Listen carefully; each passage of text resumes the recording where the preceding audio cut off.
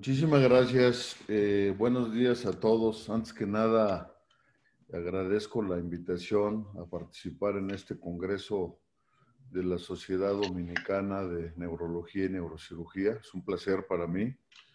Espero que tenga un buen impacto esta, esta plática. Y antes que nada, antes que nada me gustaría eh, mencionar que eh, estamos en medio de la pandemia como vicepresidente y presidente electo de la Federación Latinoamericana de Neurocirujanos. Hicimos un trabajo sobre el impacto del COVID en nuestra población neuroquirúrgica y ha sido fenomenal. Uh, una reducción de aproximadamente el 70 al 80% de las actividades neuroquirúrgicas, lo cual dejará secuelas eh, sin duda alguna en la educación de los neurocirujanos jóvenes que esperamos no sean de impacto importante en la atención de los pacientes. Por lo tanto, eh, estamos en la gran oportunidad de romper barreras y distancias y suplementar esas pérdidas a través de actividades académicas como esta de la Sociedad Dominicana, actividades online, que son eh, muy importantes para mantener la actualización de los neurocirujanos en todo el mundo. También me gustaría mencionar que escribimos un artículo en el Neurosurgery en memoria a todos los colegas caídos que han sido bastantes. Aquí tienen una tabla hasta junio del 2020 de los eh, colegas que habían caído por consecuencia del COVID. Pero hoy, por ejemplo, en México, donde en esa época había solo un fallecido, hoy hay cinco. Entonces, ha habido también un impacto fuerte, no solo entre la neurocirugía, sino entre toda la población dedicada a la atención eh, médica y para ellos, para todos nuestros colegas, hermanos médicos, enfermeras y todo el personal paramédico, quiero lanzar este homenaje reconociendo su gran esfuerzo en medio de esta terrible situación en la que nos encontramos. Eh, que Dios los bendiga.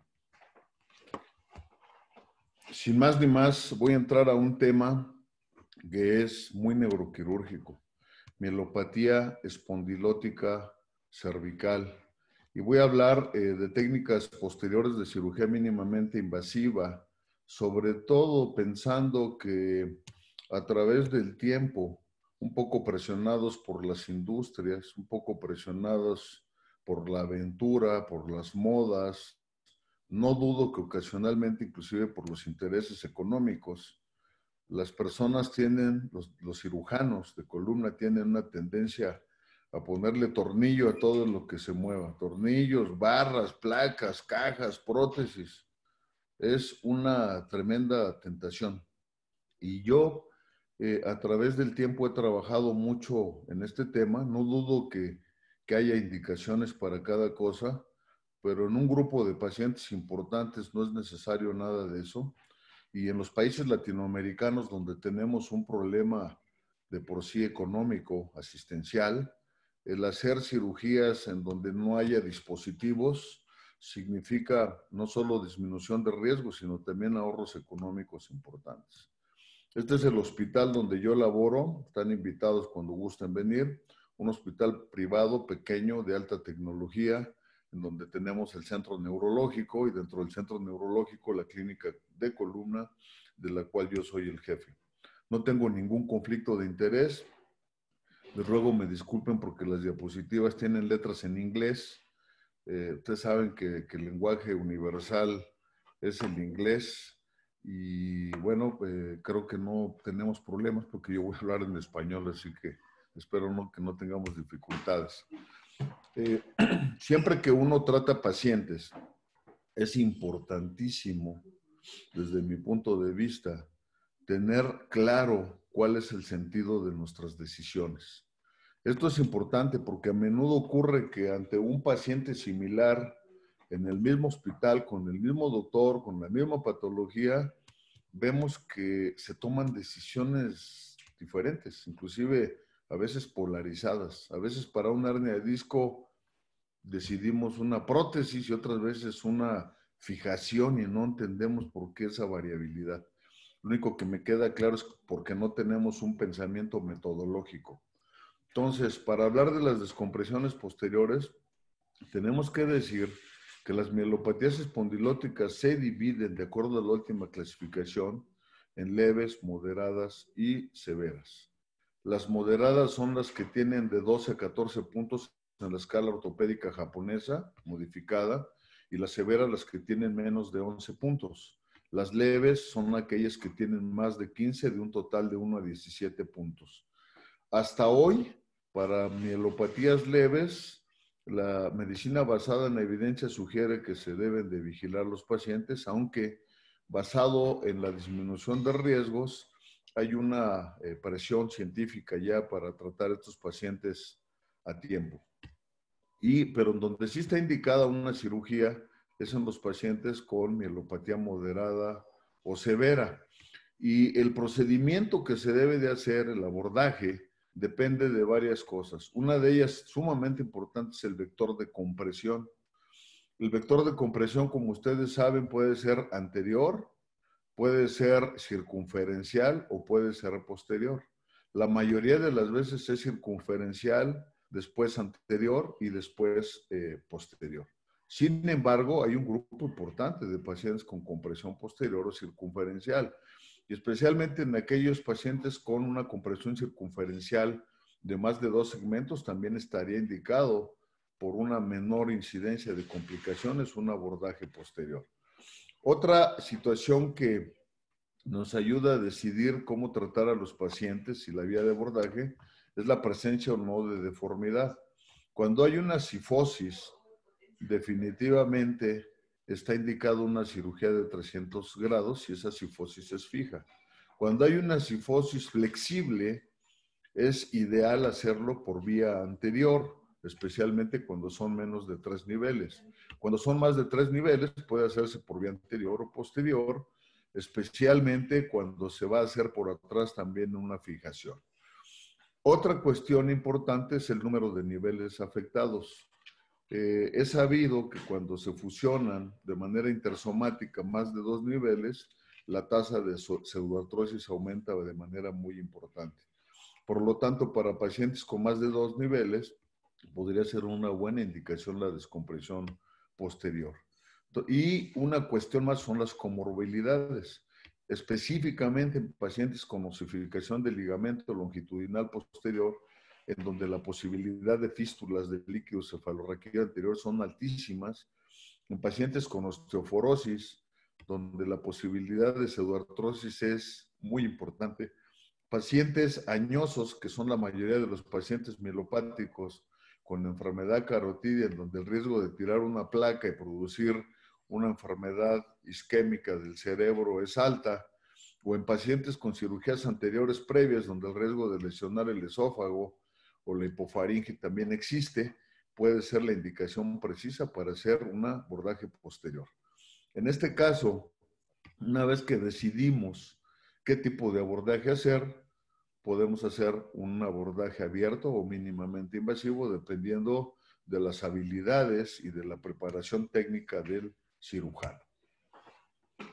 Este es el último artículo de Tetrod donde, donde modificaron la las categorías de mielopatía, se los muestro solo para que sepan de dónde salió ese valor.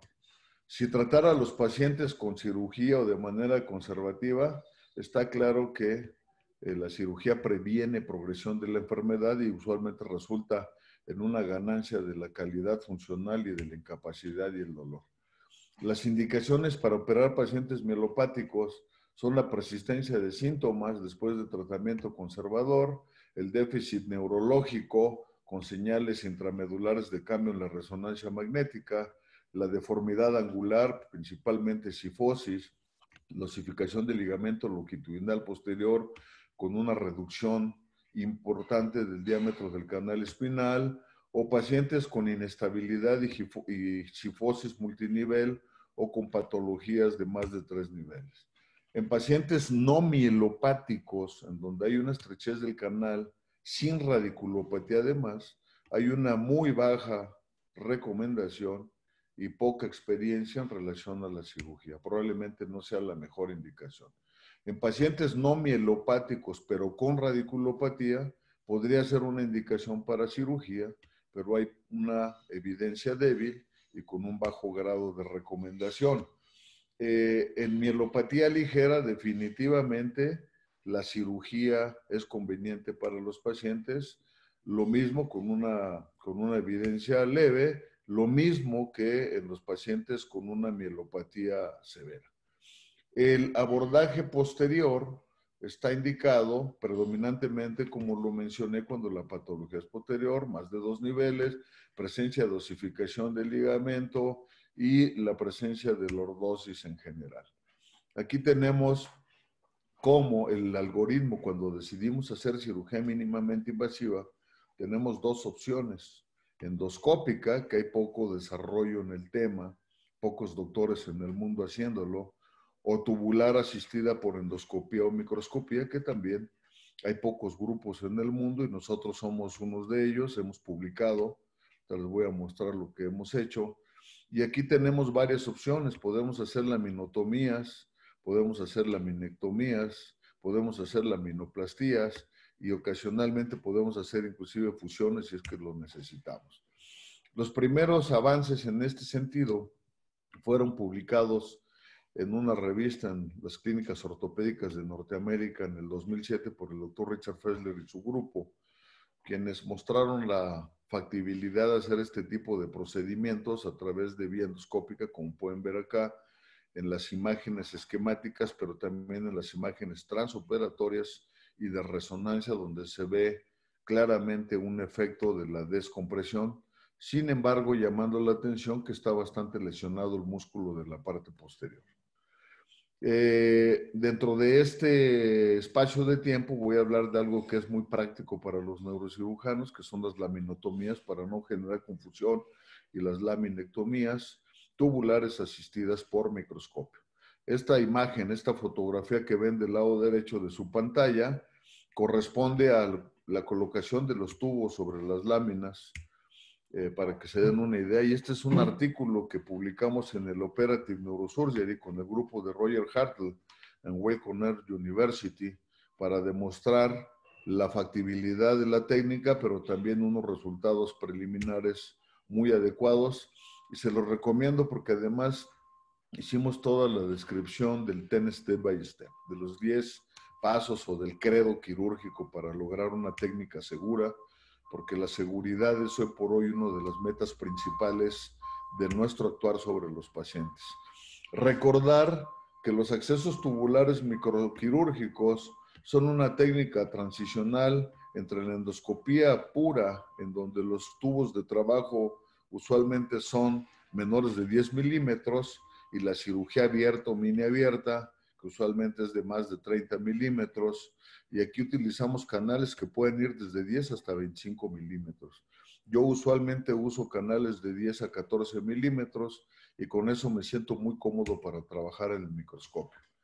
Los fundamentos científicos para hacer accesos tubulares son, primero, la descripción clara en muchos artículos de que el rafé de la línea media está sumamente inervado por el tercer nervio occipital que eh, explica el potencial dolor severo posoperatorio con el que cursan los pacientes cuando uno entra a cirugías por la línea media.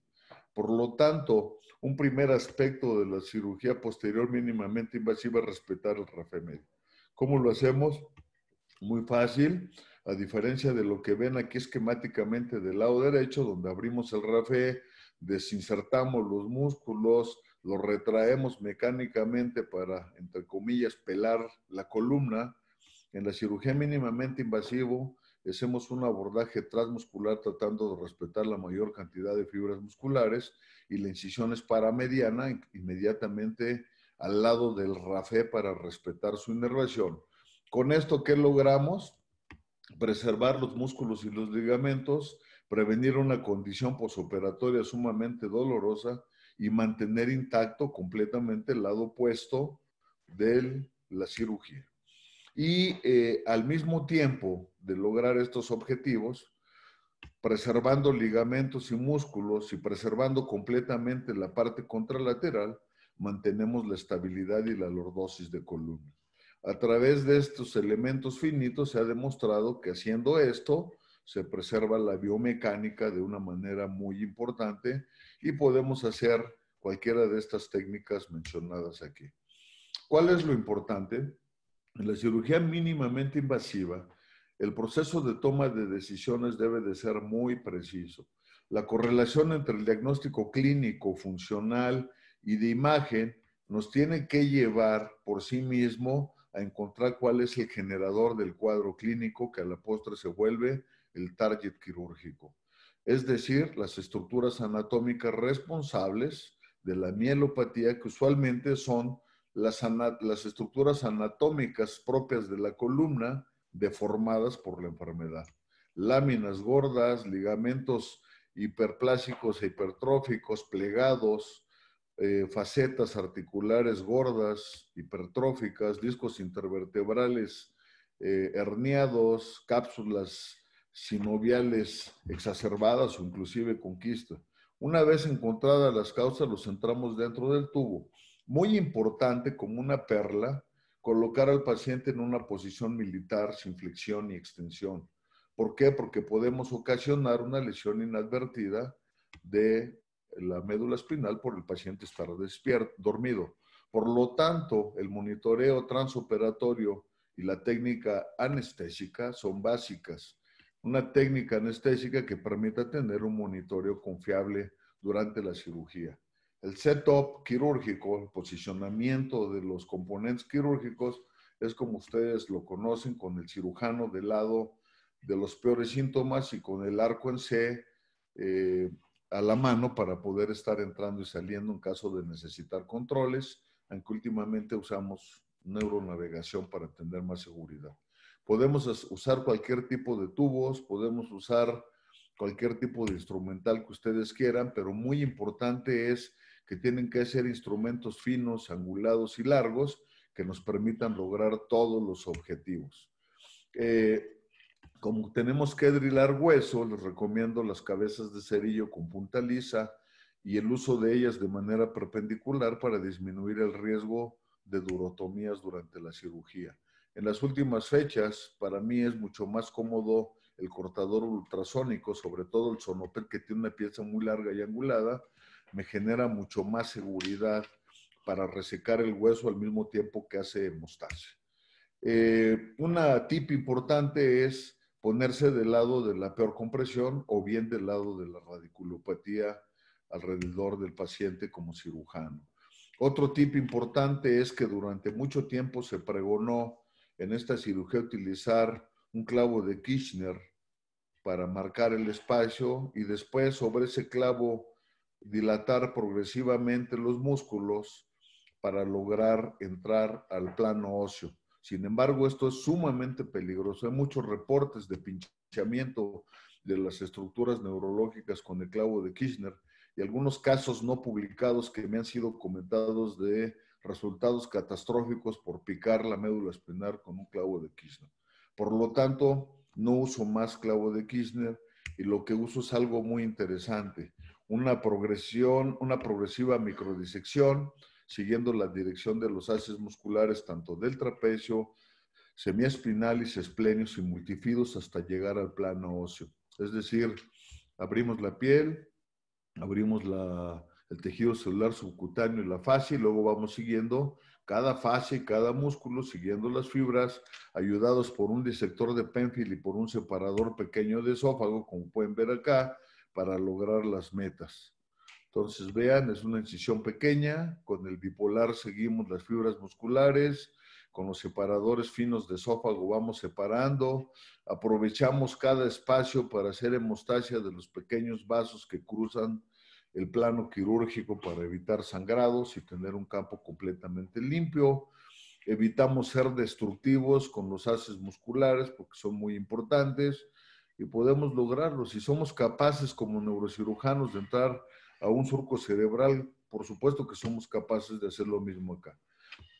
Colocamos el tubo y obtenemos una visión sumamente limpia del campo quirúrgico que nos permite inmediatamente identificar los landmarks que ahorita los voy a mencionar y drillar lo que tengamos que drillar en el momento adecuado para lograr una técnica sumamente limpia.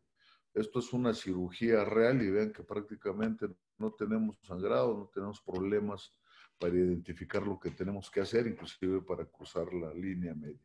Muy importante la curva de aprendizaje.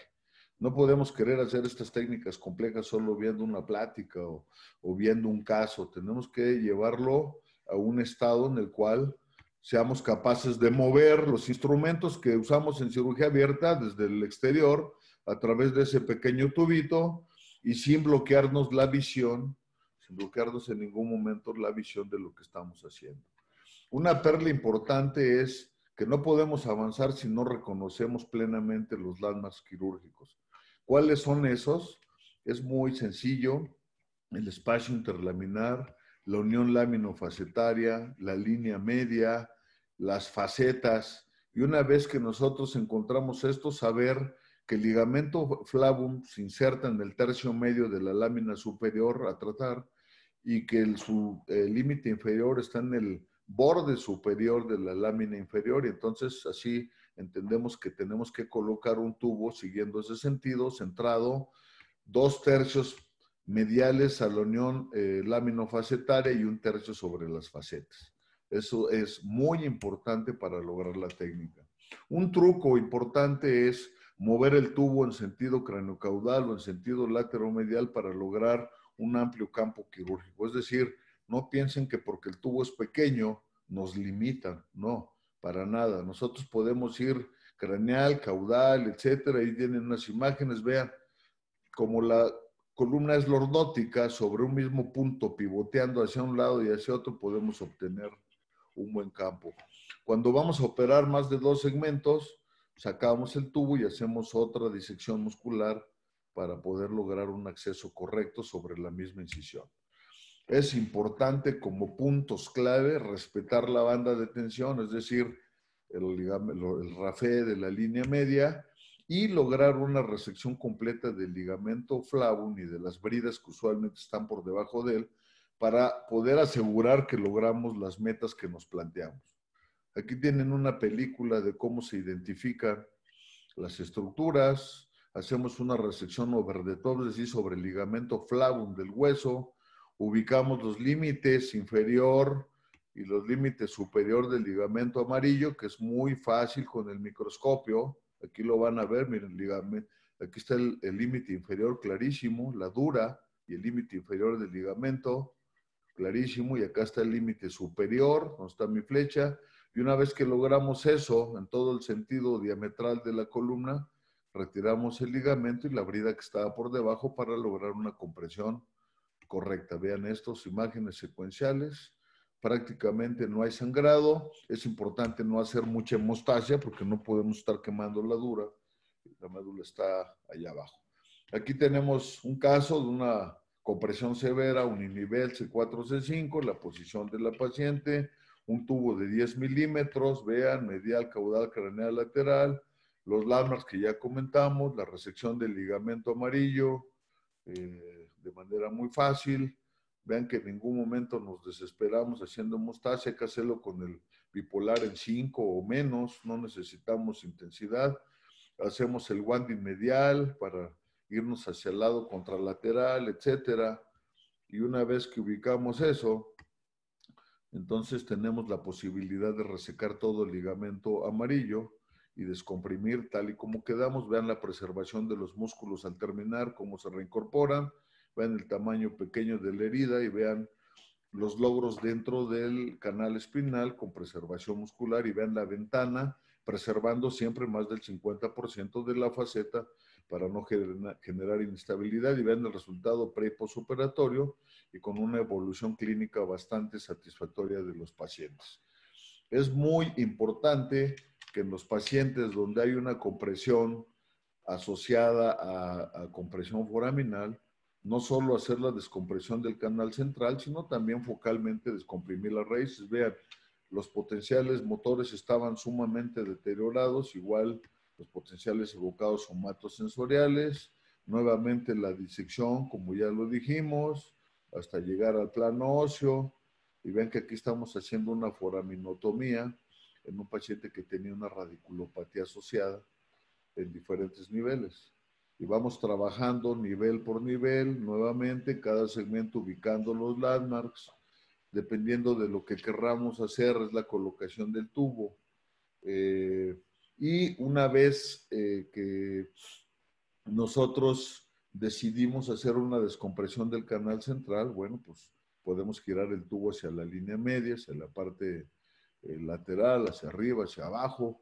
El tema es siempre tener una metodología. Ven una vez más el ligamento flavo, el límite inferior y superior, un poco de paciencia, el sangrado se cohibe solito, le agregamos un poco de litene, vean la preservación de los músculos, la recuperación de los potenciales evocados, tanto somatosensoriales como motores en el paciente transoperatoriamente, y la descompresión tanto central como, como las foraminotomías cuando estaba indicado.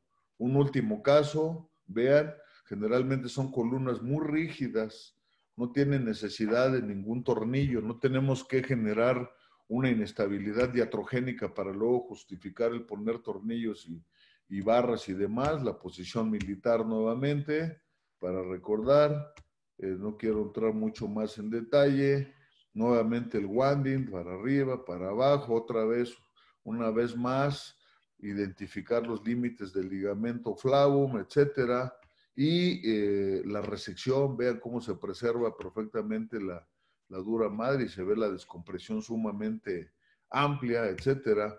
Y al final de todo esto, lo importante es que hacemos una descompresión sumamente amplia en un paciente con mínimas molestias posoperatorias, podemos lograr lo que querramos y con una descompresión bastante importante, como pueden ver en estas imágenes, tanto sagitales como axiales, y en esta imagen comparativa del preoperatorio del lado izquierdo, con el posoperatorio donde se ve claramente el efecto de nuestra cirugía y la preservación de una buena lordosis, como queda claro, y del RAFE también. Entonces, eh, ahí tienen la cirugía que logramos hacer a través de un tubo de 10 milímetros con una herida de 2 centímetros, no necesitamos más, y logrando todos los objetivos con un paciente en bastante buenas condiciones, y en el día cero con mínimas molestias posoperatorias, cosa que usualmente con los abordajes mediales no se logra en cirugías convencionales. Reportamos unos primeros 15 casos en ese Operative Neurosurgery con excelentes resultados, con una mejoría del VAS de casi 7 a 2, etcétera, todo bastante bien. Y lo que quiero que se lleven a casa es que esto está indicado para pacientes con eh, predominio de compresión circunferencial o posterior, que el landmark anatómico más importante es el cruce entre el espacio interlaminar y la unión laminofacetaria, que no debemos de drilar más del 50% de las facetas y que tenemos que usar de manera correcta el drilado del hueso para evitar fugas de líquido cefalorraquídeo. Una cosa importante es que el cirujano tiene que estar preparado para cualquier situación justo en el caso número 16 eh, o 17, una vez que habíamos publicado, nos ocurrió la primera durotomía, la tienen.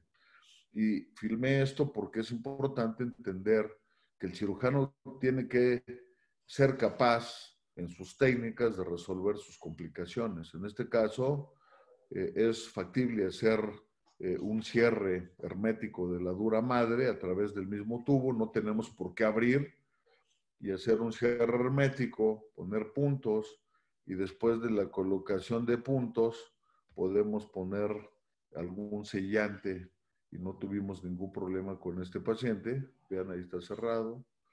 Ponemos un poco de litene para hacer hemostasia. Checamos que no haya salida de líquido. Y por último ponemos un poco de glue para cerrar la potencial fístula y no tenemos mayor problema. Es decir, es una técnica agradable. Entonces, en resumen, los abordajes tubulares microquirúrgicos posteriores son útiles para resolver mielopatía espondilótica multi o uninivel y el objetivo es el mismo que en la cirugía abierta, mismos objetivos, pero minimizando el daño iatrogénico. La factibilidad depende, por supuesto, del interés del cirujano, sus propias habilidades y la buena disposición para eh, obtener una buena curva de aprendizaje y el entendimiento del paso a paso es muy importante porque facilita el acortamiento de las curvas de aprendizaje. El conocimiento de las posibles complicaciones ayuda a evitarlas, por supuesto, y eh, tenemos que acumular más casuísticas en otros grupos para entender el verdadero impacto clínico de estas técnicas. Muchísimas gracias por su atención y esta es la primera de mis pláticas. Espero comentarios, preguntas o, lo que ustedes dispongan. Doctor Soriano, las preguntas las vamos a hacer al final del bloque. Si usted gusta continuar con la próxima ponencia. De acuerdo. De acuerdo con usted.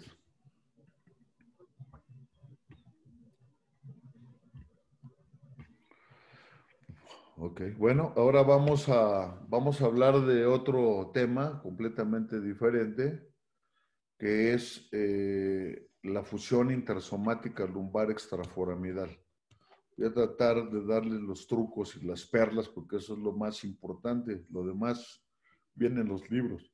yo creo que la experiencia personal es lo que puede hacer la diferencia en, en cuanto al impacto educativo que esto puede tener. Eh, como les digo, en nuestro grupo estamos acostumbrados a tener siempre un algoritmo de medicina basada en evidencia para entender bien qué es lo que queremos y para qué sirven estas cosas. Las fusiones extraforaminales, lumbares, intersomáticas, como ven acá, están indicadas en cualquier patología, por eso dejé unas llaves abiertas, en la que el objetivo sea controlar el dolor, descomprimir el foramen y posiblemente el canal central si lo desean, fusionar intersomático y hacer una fijación rígida. Esas son las indicaciones precisas para lograr esta técnica. Desde el punto de vista histórico, el fundamento es que en 1952 Clawar describió una técnica maravillosa que se llama PLIF, posterolateral interbody fusion, fusión posterolateral intersomática lumbar. Un abordaje de 360 grados para lograr una, una descompresión, una fusión y una fijación rígida.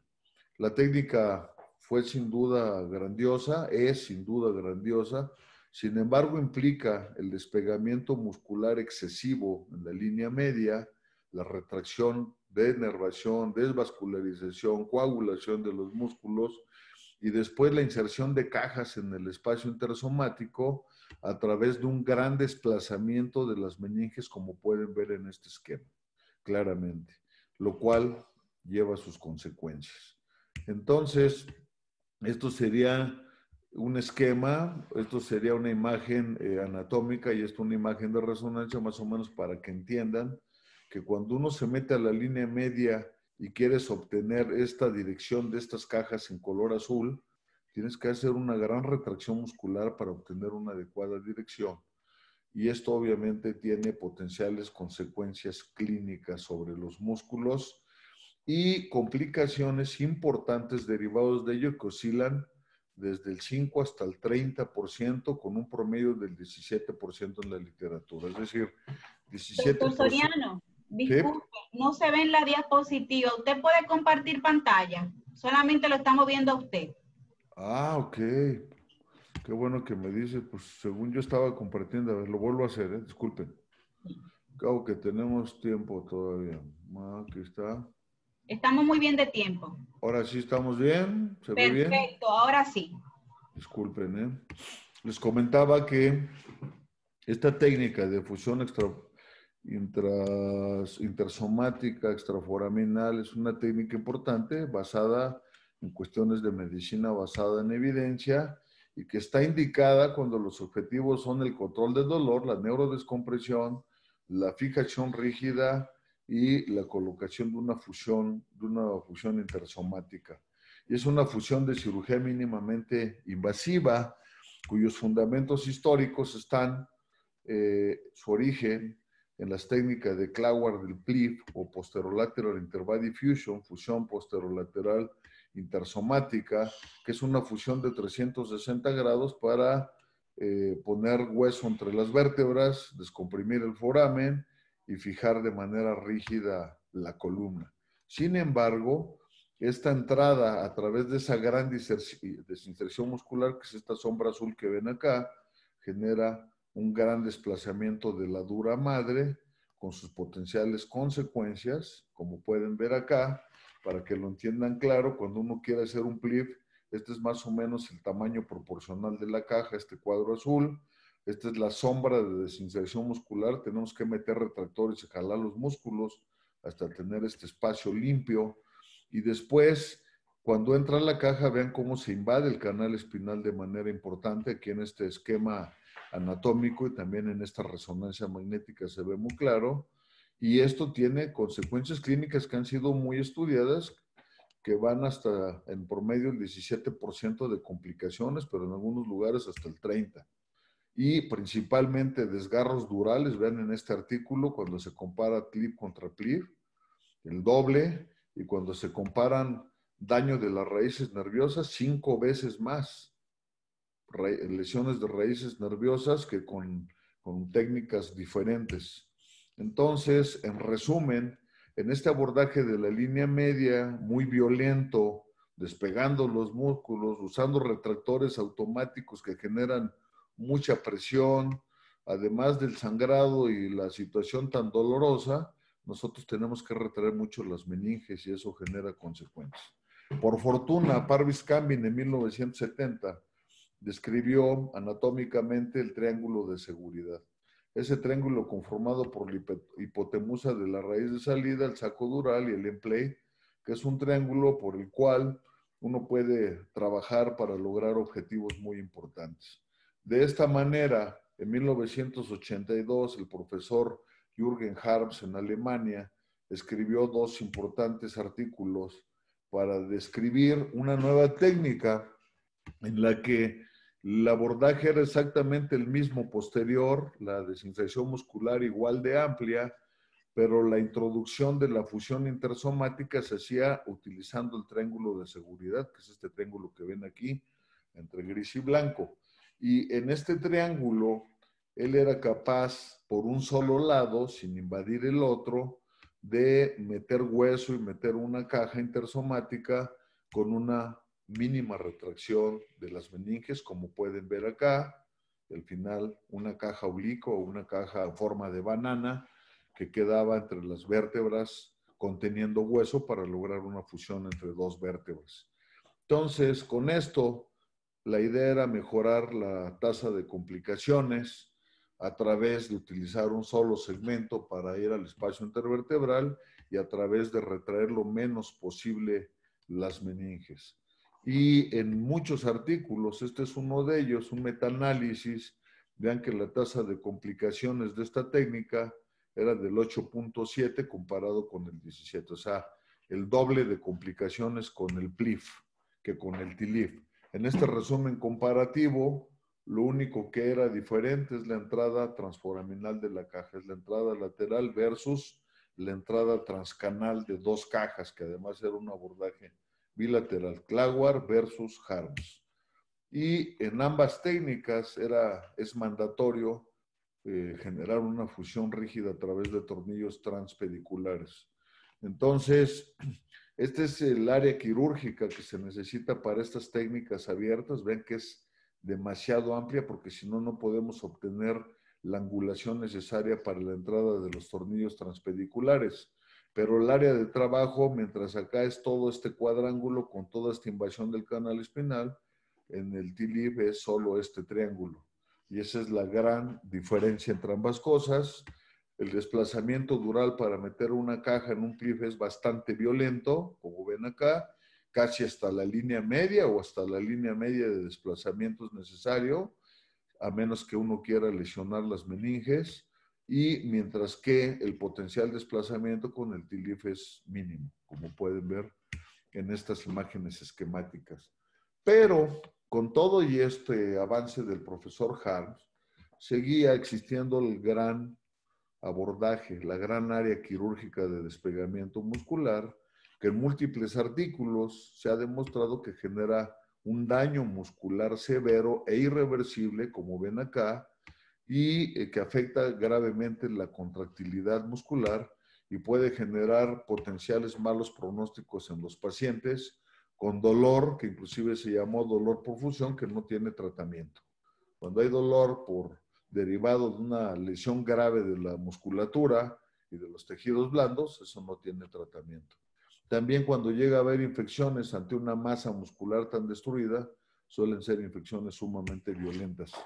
Entonces, basados en estas ideas, el grupo de Foley, Larry Q, James Schwender, Fessler, todos ellos, queridos amigos muy cercanos, decidieron innovar a través de usar tubos eh, y también un nuevo corredor anatómico entre el multifidus y el longísimos, como pueden ver aquí en verde, para lograr los mismos objetivos que el profesor Harms, pero sin tanta destrucción muscular. Ahí tienen a Kevin Foley, por si no lo conozcan, eh, con su innovación de los tubos Metrix, que se utilizaron de manera endoscópica inicialmente, y vean la comparación entre usar separadores o retractores mecánicos que son violentísimos versus tubos. El abordaje abierto de su lado izquierdo versus el abordaje tubular con la intención y ya bien estudiada que se logra, bien estudiada de más de 11.000 artículos, que se logra de disminuir el daño iatrogénico, producir menos sangrado, menores tasas de complicaciones, menores tasas de infecciones, menor dolor postoperatorio y una mejor tasa de costo-beneficio. Y efectivamente se ha demostrado en muchos casos que así son. Pero aún así se sigue cruzando un poquito el receso lateral del canal espinal con el TILIF, porque este es el abordaje donde uno entra directamente sobre la faceta medial, que está directamente en relación con el receso. Y por lo tanto, hay una probabilidad de dañar la dura madre y el contenido neural que no es nada despreciable. Esto es una imagen esquemático del neurosurgery, donde se puede ver claramente cómo se ve la faceta lumbar y el círculo verde es la colocación del tubo para un TILIF, donde lo que hace es resecarse la faceta medial y después parcialmente la faceta lateral hasta completar su resección total y por aquí meter la caja. Entonces, este es el artículo original, dilatando eh, con un clavo de Kirchner, y sin embargo vean que los músculos se ven bastante maltratados, quemados aquí en el fondo y demás. Esto yo lo he comentado con Kevin Foley, que, a pesar de ser mínima invasión se ve un poco grotesco esto. Eh, sin embargo, eh, con esto lo que se pretende es mantener una buena parte del multifidus, y limitar en sentido craneocaudal nuestro abordaje a los pacientes.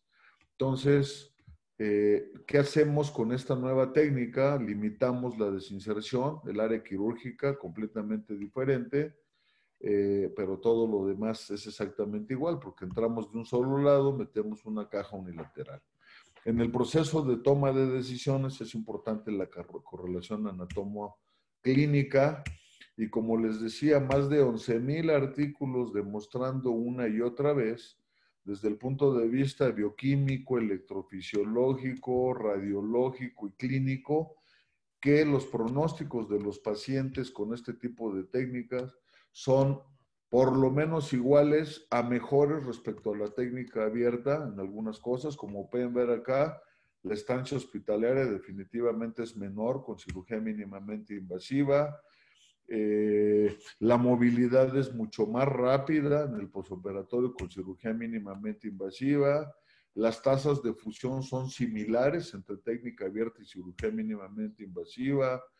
Los rangos de fusión eh, tienden a tener eh, en algunos artículos una tendencia a ser mejores con cirugía abierta, pero cada vez han ido mejorando. Yo diría que prácticamente igual y en donde sí tenemos una diferencia es en el perfil de complicaciones. Las complicaciones son menores definitivamente con cirugía mínimamente invasiva y especialmente las infecciones. Vean en este artículo de un grupo que es un poco a la cirugía mínimamente invasiva como es el grupo de Scoliosis Research Society, que es una gran sociedad muy prestigiada, donde estudiaron entre 108 mil procedimientos y encontraron que había una incidencia de infecciones en cirugía abierta de 2.4% versus 0.5% con cirugía mínimamente invasiva.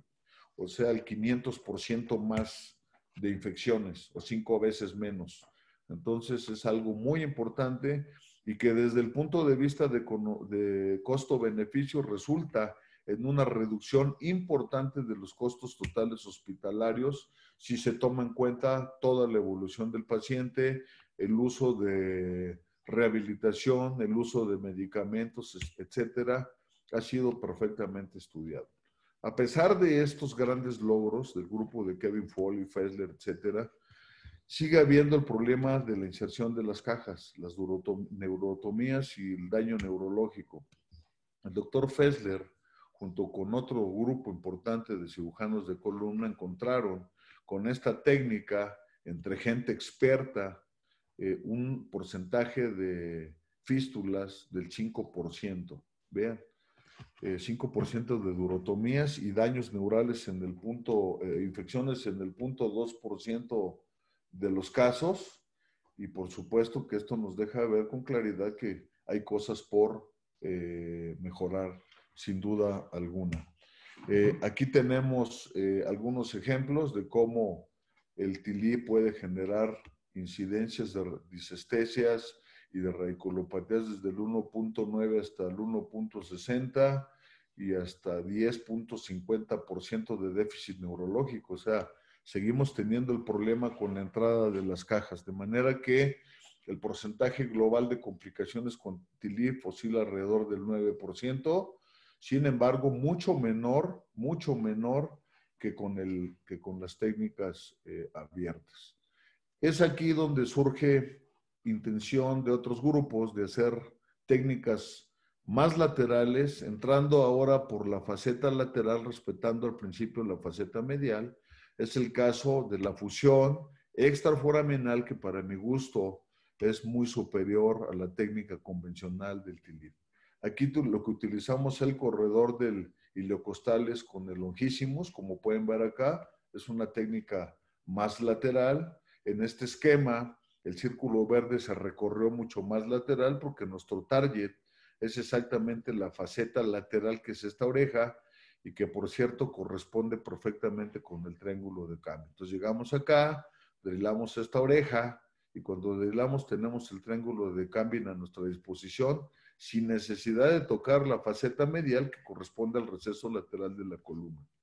Y de esta manera eh, ha sido estudiado por estos autores que colocaron agujas en diferentes partes eh, relacionadas con la faceta lateral, que cuando está uno pegado a la faceta lateral hay entre 1 y 3 milímetros de distancia respecto a la raíz de salida. Y entonces así es que fue descrito esta técnica eh, de manera muy ah, importante por Recules, eh, que lo que pretende es, es ir intertransverso y después ir hacia la faceta lateral y con buenos resultados, pensando que el TILIF es el gol estándar cuando se pretende una descompresión foraminal, una fusión intersomática, una descompresión indirecta del foramen contralateral, una descompresión del receso lateral, canal central, fijación rígida y preservación muscular. Pero con el ILIF también de lo que se trata es de evitar el desplazamiento dural a lo máximo posible. Y así es que eh, nuestro colega latinoamericano, Landriel y Jan Polsky, nuestros colegas, describieron una técnica mínimamente invasiva con tubo, que básicamente se resume de manera esquemática muy bien. Vean la colocación del tubo, acá tomando más la faceta lateral, vean que se preserva la faceta medial, al preservar la faceta medial ya no entramos al canal espinal con buenos resultados y un tiempo parecido a lo de la técnica normal y con una ventaja una de trabajo pequeña, pero que nos permite todo logro de los objetivos sin desplazamiento. Hemos publicado los landmarks anatómicos de la técnica, los pueden consultar en la revista Columna a Columna. Y aquí tienen unas imágenes que nunca las he visto en ningún libro. Este es un régimen esquemático pero vean, Esta es una tomografía transoperatoria de un caso real para que vean dónde está el tubo y cómo se ve el multifidos, el longísimos y cómo estamos entre longísimos y el iliocostalis derecho hacia el espacio intersomático. Véanlo aquí con toda claridad. Estas imágenes donde se ve claro dónde tenemos nuestro tubo de trabajo pequeño de 14 milímetros y cómo resecamos la faceta lateral, la faceta medial está preservada. Esto es la sombra de un cotonoide. Vean el tubo acá, cómo nos deja ver directamente el foramen. Desde el punto de vista de los landmarks están muy claros, la faceta medial, la faceta lateral que corresponde al triángulo de Cambin y este pequeño video solo para demostrar que esto no es subjetivo. Es muy, muy anatómico. Estamos pintando aquí las vértebras, dado que hay lordosis.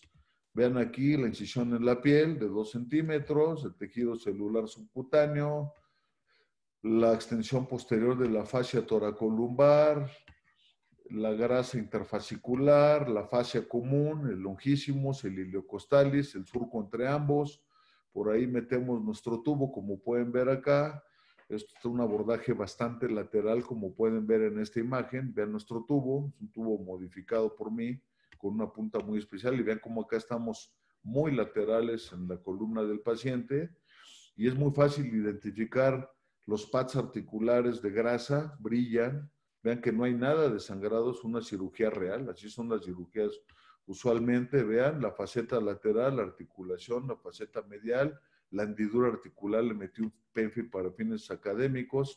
Como la faceta lateral coincide con el triángulo de Cambin, se puede drilar sin, sin tanta preocupación.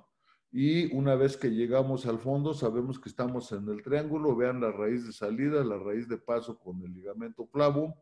Y aquí está el disco intervertebral a través del cual podemos poner la caja y después por la misma herida los tornillos para lograr una fijación. Vean en la salida cómo están preservados los músculos, porque es un surco.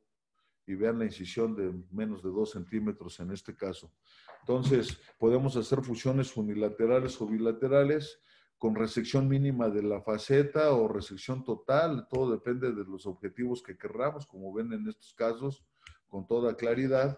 Y si añadimos una caja canulada con un alambre de Kirchner, como ven aquí de manera esquemática, disminuimos todavía más el riesgo de desplazamiento inadecuado de la caja.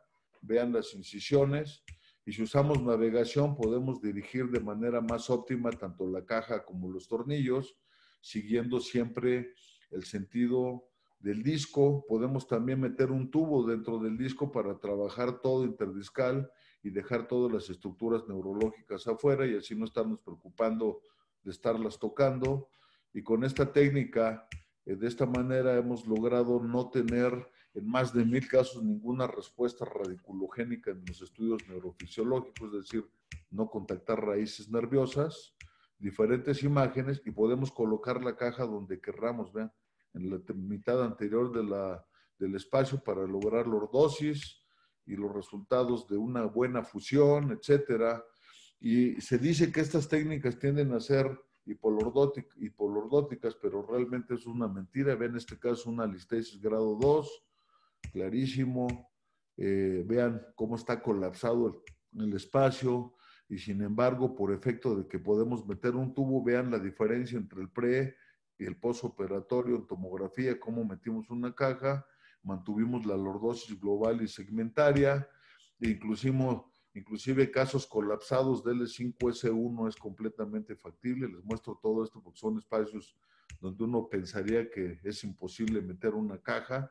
Y después hicimos un estudio que estamos por publicar donde demostramos una mejoría de los ángulos quirúrgicos eh, lumbar de más de 4 grados y del ángulo segmentario de más de 4 grados. Es decir, dependiendo de la colocación de las cajas, definitivamente no es una técnica hipolordótica. Y podemos eh, utilizarlo en casos complejos, como este caso que tiene un quiste sinovial grande, vean el tamaño del canal, y podemos descomprimir toda la, todo el canal, como pueden ver acá, y meter la caja, y si el paciente tiene osteoporosis, reforzar las vértebras como cemento, es decir, es una técnica muy versátil, podemos usarlo combinado con otras técnicas para lograr tratamientos como en este caso de escoliosis de cirugías complejas, vean, la diferencia y sobre todo el efecto clínico.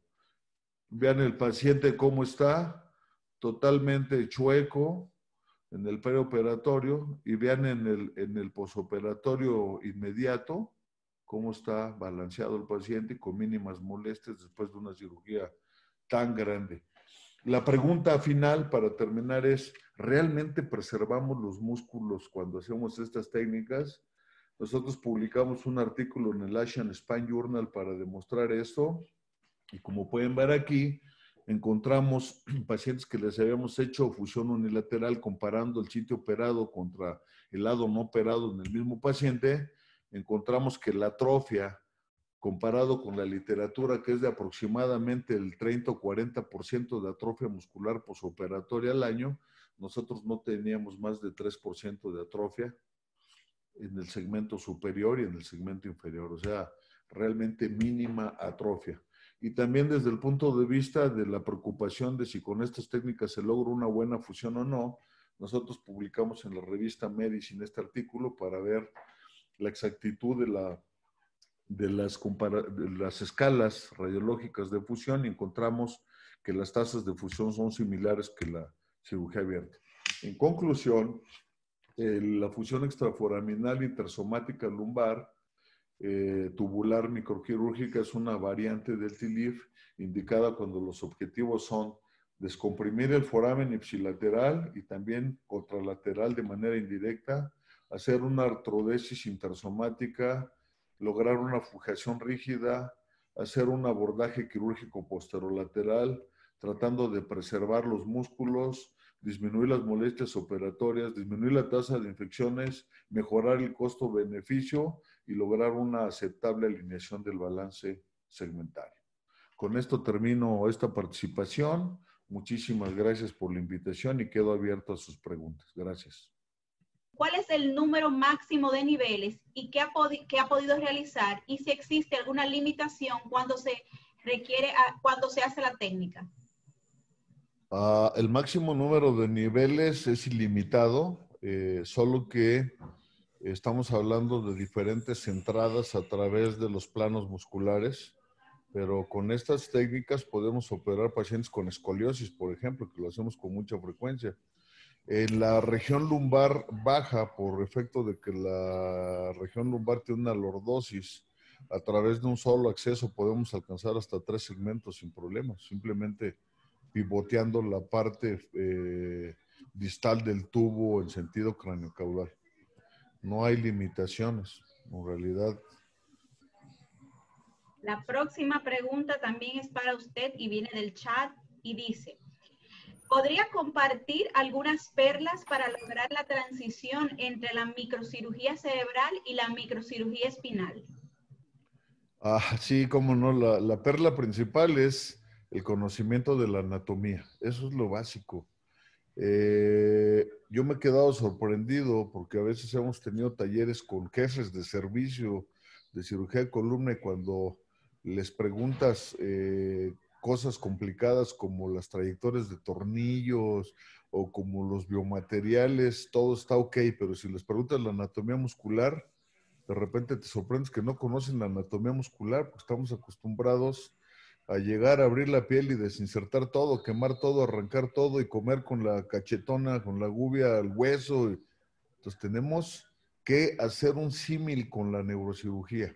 En la neurocirugía no llegamos y quitamos un pedazo de cerebro para poder llegar al target. Vamos, buscamos un surco, tenemos paciencia, tratamos de no lastimar la corteza cerebral, lo mismo acá. El, el, punto es conocer la anatomía, buscar el blanco y meterse con cuidado y nada más. No hay ningún riesgo, es músculo, no tenemos por qué tener miedo. Y obviamente hacerlo de manera metodológica, asistiendo a algunos de los centros importantes donde se hacen este tipo de excesos. Están invitados al mío cuando gusten. Eh, hay una oportunidad de rotar o de, inclusive tenemos el único fellow de mínima invasión en el mundo avalado por la Universidad Nacional Autónoma de México. Tenemos otra pregunta para usted que dice, con la técnica de fusión extraforaminal lumbar, ¿cómo ha sido su experiencia en escoliosis degenerativa? Ha sido buena en el sentido de que se logran los objetivos que comenté hace un rato muy eh, puntuales. Eh, si uno sabe, eh, la técnica es muy segura, si uno calcula las, el tipo de cajas, el tamaño de las cajas desde el preparatorio y sabes dónde las vas a poner para corregir lo que quieres corregir, ya sea el aspecto coronal o el aspecto sagital, que de hecho es el más importante, se pueden lograr cualquier objetivo. Y hemos utilizado la técnica de E-Lift hasta para T11, T12. Por supuesto, el cirujano de columna que quiere tratar escoliosis tiene que dominar todas las técnicas posibles. Tienes que saber hacer a lift, tienes que saber hacer ex-lift o lift, lift y lift, todo, porque uno tiene que ofrecerle al paciente lo que la medicina basada en evidencia dice que es lo mejor, no lo que uno quiere. Y ese es un concepto muy importante. Perfecto. Eh, basado en esa respuesta, tenemos otra pregunta que dice su opinión en cuanto a las técnicas actuales, a lift o lift y el lift como técnica emergente. Me imagino que cuál es su... Definitivamente yo diría que es una técnica que puede pensarse, eh, eh, que puede pensarse para esos objetivos y que puede hacer las mismas veces de manera diferente que cualquiera de esas técnicas. El punto es entender que cuando tú haces una lift o haces un ex-lift, tienes una caja grandotota que atraviesa de lado a lado y que tiene más capacidad de carga, pero además le cabe más injerto. Acá lo que hacemos con esta técnica de lift es que metemos muchísimo hueso extra, extra caja, o sea, la mayor parte del hueso va impactado fuera de la caja y una mínima cantidad dentro de la caja, pero se logran los mismos objetivos es un, es un tema nada más de objetivos. Si lo que queremos es eh, hacer una corrección muy violenta, pues tenemos que usar a lo mejor técnicas como el ex-lib y como osteotomías, etcétera. Es que todo depende del caso. Tal vez ese tipo de respuestas se tendrían que ver en el caso a caso. Muchísimas gracias, doctor.